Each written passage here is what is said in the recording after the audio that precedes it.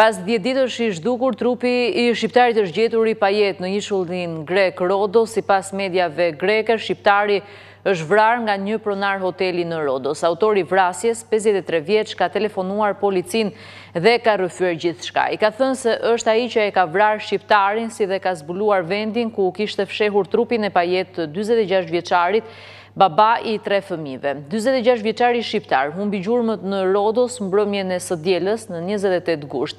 Xhipi blu i kontraktorit dyzet e gjashtë vjeçar dhe babai i tre fëmijëve të mitur u gjet i braktisur nga policia disa orë pas zhdukjes së tij dy kilometra larg shtëpisë, ndërsa celulari i tij mbetet i fikur.